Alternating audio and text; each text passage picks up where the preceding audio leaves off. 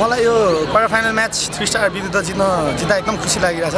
किनभने एउटा यो टिमको मेहनतले गरेर क्या हामी यो एउटा किनभने यहाँ सेमी फाइनलको यात्रासम्म सेमी फाइनलको यात्रा तय गर्न एकदम ठुलो मलाई एकदम खुसी व्यक्त गर्नै सक्दिनँ। किनभने त्यो एउटा यो एउटा सानो क्लब है बोइजिने एउटा सानो बीबाट एमा आएको क्लबबाट सेमी फाइनल पुऱ्याउन पुऱ्याउँदा मलाई पनि एकदम खुसी लाग्यो। अनि म सबभन्दा पहिला चाहिँ यो क्रेडिट चाहिँ मेरो टिम मेटहरूलाई प्लेयरहरूलाई दिन चाहन्छु। किनभने उनीहरूको मिहिनेतले गरेर हामी यहाँसम्म पुग्यौँ है।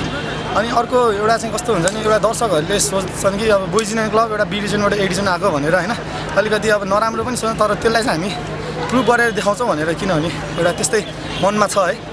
अनि अर्को एउटा चाहिँ के भन्न चाहन्छु मेरो मम्मीको अब यो दुई दिनपछि मेरो बर्थडे छ होइन अब मेरो लेट मदर है त्यसको लागि चाहिँ आजको गोल चाहिँ उहाँलाई नै डेडिकेट गर्न चाहन्छु किनभने ह्याप्पी बर्थडे म मम भनेर। Thank you